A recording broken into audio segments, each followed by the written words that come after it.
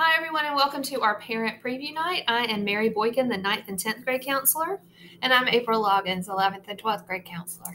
Thank you for joining us tonight for our presentation. If you'll click on the presentation on the right hand side of your screen, um, you can go to page two, and that contains a table of contents if you'd like to skip to certain topics, or you can watch um, the whole thing.